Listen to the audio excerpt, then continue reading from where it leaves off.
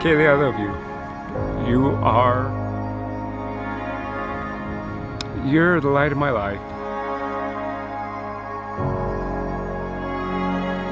I just, I just thank God every day for you. I know you and Jeremiah are meant to be together. What you're doing is spectacular. I just love you.